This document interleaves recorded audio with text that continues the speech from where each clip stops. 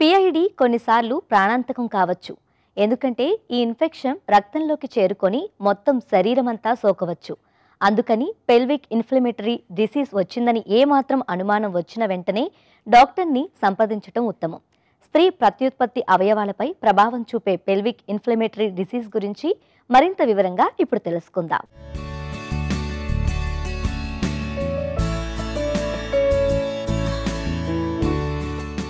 స్త్రీలలో పొట్ట క్రింద భాగంలో ఉండే స్త్రీ ప్రత్యుత్పత్తి అవయవాలకు వచ్చే ఇన్ఫెక్షన్ను పెల్విక్ ఇన్ఫ్లమేటరీ డిసీజ్ అంటారు. స్త్రీ కటికుహారంలో ఉండే గర్భసంచి ఫెలోపియన్ నాళాలు అండాశయాలకు ఈ ఇన్ఫెక్షన్ సోకుతుంది. కొన్ని సుఖవ్యాధులలో ముఖ్యంగా క్లమీడియా గనేరియా వలన వచ్చే దుష్ఫలితాలలో పిఐడి కూడా ఒకటి. దీనికి వెంటనే చికిత్స తీసుకోకపోతే గర్భాశయానికి అండాశయానికి చుట్టుపక్కల ఉండే కణజాలలో మరియు ఈ రెండింటిని కలిపే ఫెలోపియన్ ట్యూబ్స్కి కూడా హాని జరిగే అవకాశం ఉంటుంది. అల్ట్రాసౌండ్ స్కానింగ్ ద్వారా ఫెలోపియన్ నాళంలో వాపు ఉందా కణితులు ఏమైనా ఉన్నాయా అనే విషయాలను తెలుసుకోవాలి. తర్వాత లాప్రోస్కోపీ ద్వారా కటికుహారంలోని అవయవాలను కూడా చూడవచ్చు. అవసరమైతే దీని ద్వారా అవయవాల కణజాలాన్ని తీసి ల్యాబ్ పరీక్షకు పంపుతారు. డాక్టర్ని సంప్రదించి యాంటీబయాటిక్ మందులను సిఫార్సు చేస్తారు. అయితే ముందు జాగ్రత్తగా లైంగిక సంపర్కం ద్వారా సోకే సుఖవ్యాధులను అరికట్టాలి. పెల్విక్ ఇన్ఫ్లమేటరీ డిసీజ్ ఉన్నప్పుడు ఏమవుతుందంటే అండి పొత్తి కడుపులో వాళ్ళకి మైల్డ్గా ఒక ఒక లాగినట్టు డల్గా పెయిన్ వస్తూ ఉంటుందన్నమాట. సో ఈ నొప్పితో పాటు వాళ్ళకి ఏంటంటే చాలా మందికి తెలుపు అనేది వస్తూ ఉంటుందండి. సో ఈ నొప్పితో పాటు తెలుపు అనేది కూడా ఇది ఒక లక్షణం అండి. కానీ ఆ తెలుపు అనేది ఏంటంటే ఒక స్మెల్ అనేది ఒక చెడు వాసన అనేది దుర్వాసన అనేది వస్తూ ఉంటుందన్నమాట. సో ఈ తెలుపుతో పాటు ఏదైనా దురద కానీ వాసన కానీ ఉన్నట్టయితే మనం ఈ యొక్క పిఐడిని సస్పెక్ట్ చేయాల్సి ఉంటుంది. సో ఈ రెండిటితో పాటు వాళ్ళలో ఒక్కొక్కసారి బ్లీడింగ్ ప్రాబ్లమ్స్ అంటే పీరియడ్స్ అయిపోయిన తర్వాత కూడా మధ్యలో కూడా పీరియడ్ అవ్వడానికి ముందు కూడా ఈ బ్లీడింగ్ అనేది కనిపిస్తూ ఉంటుంది.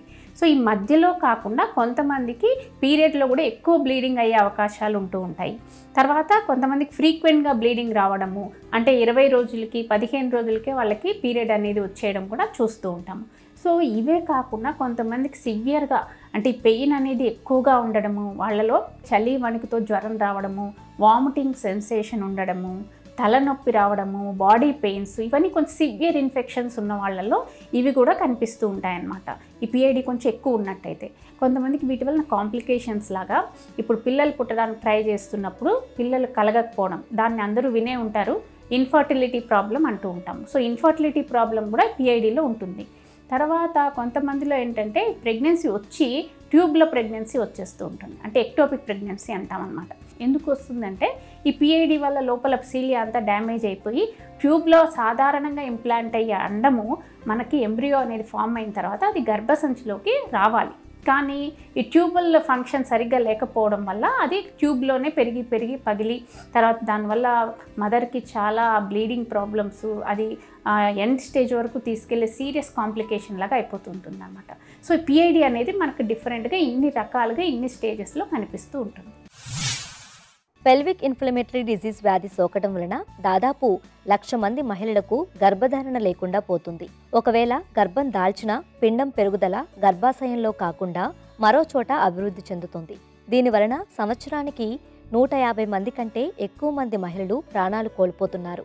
ఈ వ్యాధిని కలిగించే బ్యాక్టీరియా యోని మార్గం ద్వారా ప్రవేశించి మహిళ యొక్క ప్రత్యుత్పత్తి అవయవాలకు చేరుకుంటుంది.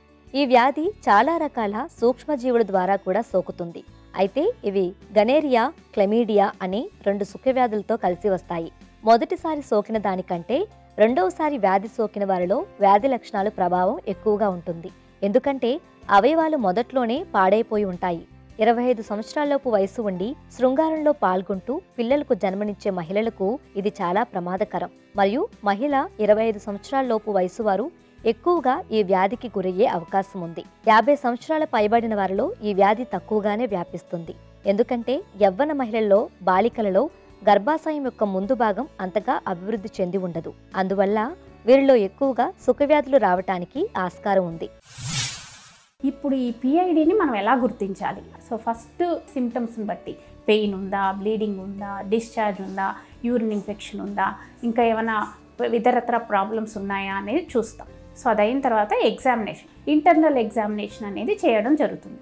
సో ఇంటర్నల్ ఎగ్జామినేషన్లో మనకి ఏమవుతుందంటే అంటే యూట్రస్ అన్ని పట్టుకోగానే చాలా పెయిన్ వస్తుంది. నార్మల్గా అయితే ఎవరికి టెండర్నెస్ అంటాం దీన్ని ఇది ఉండదు.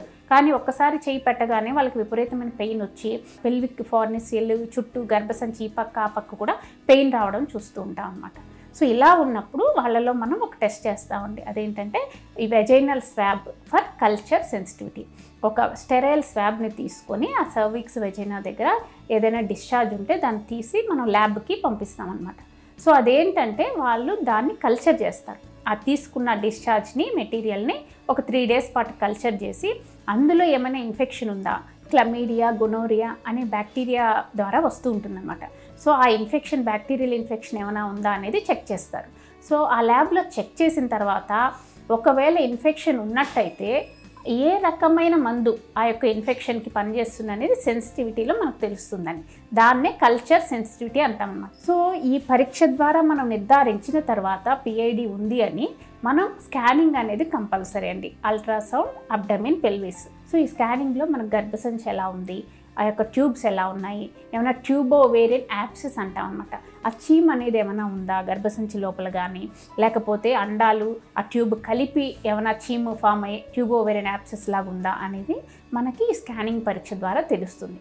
ఒక్కవేళ గనక ఈ స్కానింగ్లో ఇలాంటివి ఏమైనా ఉన్నట్టయితే ఒక్కొక్కసారి సిటీ స్కాన్ ఎంఆర్ఐ కూడా చేయాల్సి వస్తుందండి. ఏదైనా ప్రాబ్లం ఉంది అనిపిస్తే ఎంఆర్ఐ పరీక్ష కూడా చేయడం జరుగుతుందన్నమాట. సో ఈ టెస్టుల ద్వారా మనం పిఐడిని నిర్ధారించుకోవచ్చు.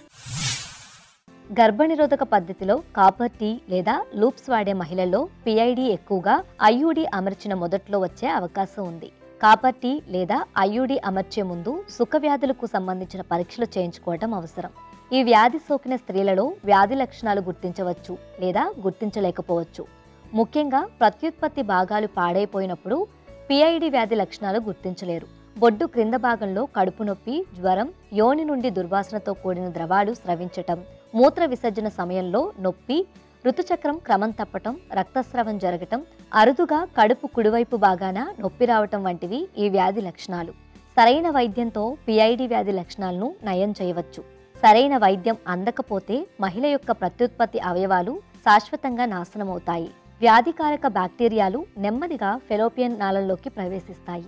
ఒకవేళ ఫెలోపియన్ నాళము పూర్తిగా గట్టి కణజాలంతో నిండిపోతే శుక్రకణము అండంతో కలవదు. అప్పుడు ఆ మహిళలకు పిల్లలు పుట్టరు. పిఐడి వచ్చినప్పుడు అండి చికిత్స అనేది ఫస్ట్ ఇన్ఫెక్షన్ బట్టి ఉంటుంది కాబట్టి యాంటీబయాటిక్ ఇవ్వాల్సి ఉంటుందండి. దానికి తగిన ఏ రకమైన యాంటీబయాటిక్ ఇస్తే ఆ యొక్క ఇన్ఫెక్షన్ బ్యాక్టీరియల్ ఇన్ఫెక్షన్ పోతుందో చూసి ఒక కోర్స్ అనేది ఇవ్వాల్సి ఉంటుంది. సో యాంటీబయాటిక్ వాడిన తర్వాత కూడా వాళ్ళకి పెయిన్ కానీ రిలీఫ్ రాకపోయినట్టయితే ఏమైనా లోపల యాబ్సెస్ ఉన్నాయా అలాంటివి చూసి దానికి ఒక్కొక్కసారి మనం డయాగ్నోస్టిక్ ల్యాప్రోస్కోపీ కూడా చేయాల్సి వస్తుందన్నమాట. ఈ ల్యాప్రోస్కోపీ అయిపోయిన తర్వాత కూడా ఒక్కొక్కసారి ఏమైనా ఎక్టోపిక్ ప్రెగ్నెన్సీ వచ్చినా మళ్ళీ ల్యాప్రోస్కోపీ చేసి ఆ ట్యూబ్ తీయడం కూడా చూస్తూ ఉంటాము.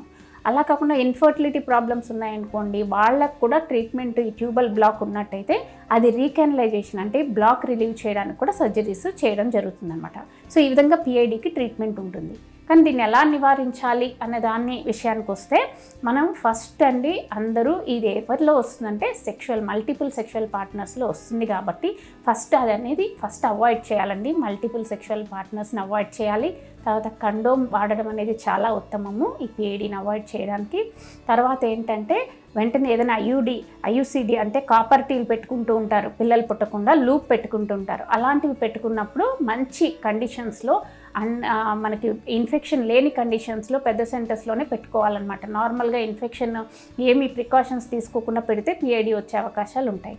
సో ఇలాంటివే కాకుండా ఏంటంటే కొంతమందికి ఇన్ఫర్టిలిటీ ప్రాబ్లమ్స్ కూడా ఇది వస్తుంది కాబట్టి రెగ్యులర్ హైజీన్ అనేది చాలా ఇంపార్టెంట్ అనమాట పర్సనల్ హైజీన్ వెజైనల్ క్లీనింగ్ అన్నీ కూడా ఇటు రెగ్యులర్ రెగ్యులర్గా వాటర్తో చేయకుండా వాటికి తగిన సొల్యూషన్స్ ఉంటే వాటితో క్లీన్ చేసుకోవడము రోజుకు రెండుసార్లు స్నానం చేయడము పరిశుభ్రత పాటించడము వీటన్ని ద్వారా ఈ పిఐడిని మనం నివారించవచ్చు. పిఐడి సోకిన ఎనిమిది మంది మహిళల్లో ఒకరు వంధ్యత్వానికి లోనవుతున్నారు. పిఐడి వ్యాధి నిర్ధారణ చేయడం కష్టం. ఎందుకంటే వ్యాధి లక్షణాలు తక్కువగాను ఒక్కోసారి లక్షణాలు లేకపోవటం వలన ప్రత్యేక పరీక్షల ద్వారానే ఈ వ్యాధిని నిర్ధారించవలసి ఉంటుంది.